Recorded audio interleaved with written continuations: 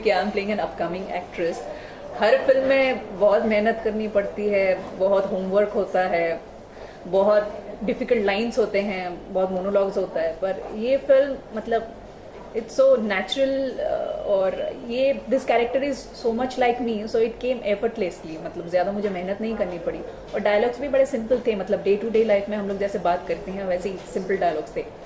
Sir आप एक journalist रह चुके हैं एडिटर रह चुके हैं तो ये चेंजेस कैसे आया कि आपने डायरेक्टर डायरेक्टर बनने का कब सोचा और कैसे फ़िल्म uh, 2004 से मैं फ़िल्म के बारे में लिखता हूँ as a journalist as a critic तो एक पॉइंट आया जब बहुत जब बहुत set and I spend so much time on film sets and एक इच्छा होता है कि खुद एक्सप्रेस करूँ। उसी इच्छा से मैंने एक स्क्रिप्ट लिखा था वैनिश बोल के। वो script N F D C ने चूज़ किया लोकार्नो फ़िल्म फेस्टिवल में बेस्ट स्क्रिप्ट चूज़ हुआ। तो एक के बाद एक चीज़ होता रहा तो फिर एक फाइनली डुबकी मारने का इच्छा हुआ। And it's a very different world लोग समझते हैं कि अगर तुम फ़िल्म के बारे में लिख सकते हो तो फ़िल्म बना भी सकते हो ऐसा कोई बात नहीं है। कम्प्लीटली डिफरेंट वर्ल्ड है। And it's a very difficult job because as a director पूरा कैप्टन ऑफ़ द शिप पूरा। बट एक्स में uh, उतना डिफ़िकल्ट नहीं था बिकॉज़ ग्यारह लोग हैं। कोई भी झमेला हुआ तो किसी और का कॉलर पकड़ के अरे तू देख ले। So so this was a unique project I hope more films like this happen journalism का क्वालिटी कितना काम में आया फ़िल्म मेकिंग में? जर्नलिज्म का एक बहुत इंटरेस्टिंग चीज़ है कि 300 वर्ड 400 वर्ड एक फिक्स्ड वर्ड में लिखना पड़ता है।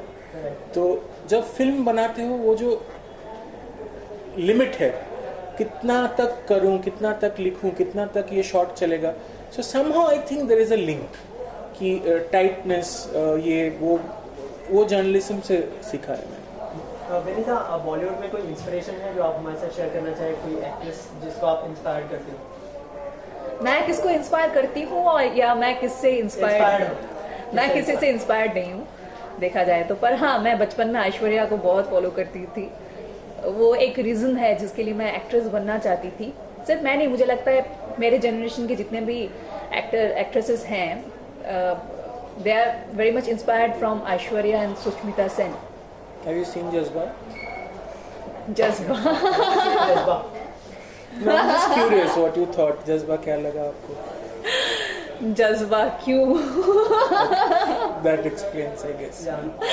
नहीं हर फ़िल्म देखती हूँ पर जज्बा बिकॉज़ मैं खुद भी एक्ट्रेस हूँ और अभी मैं काम कर रही हूँ।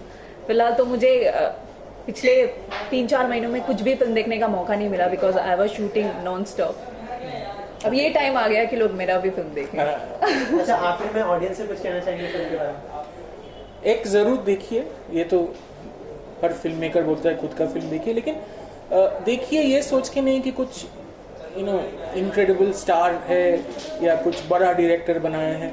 एक यूनिक प्रोजेक्ट है and India as a film making country it's changing अभी सिर्फ़ प्रेम रतन धन पायो नहीं बनता है। बहुत टाइप के फिल्म्स बनते हैं। Masaan Aankhon Dekhi. Very interesting new independent voices are coming तो X is a continuation of that और you will find something very new and interesting in X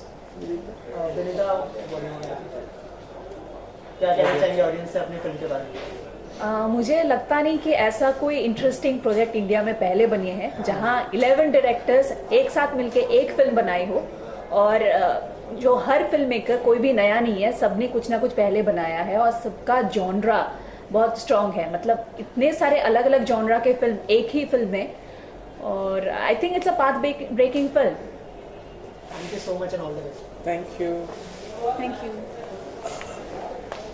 ठीक था?